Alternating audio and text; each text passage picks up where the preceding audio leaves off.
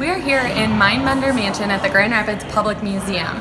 This new exhibit is hands-on all about brain teasers, puzzles, and games for people to solve, get clues and passwords, and be inducted into the special Mindbender Society, being an elite puzzle solver here at the museum. We are here doing the color match game in the library.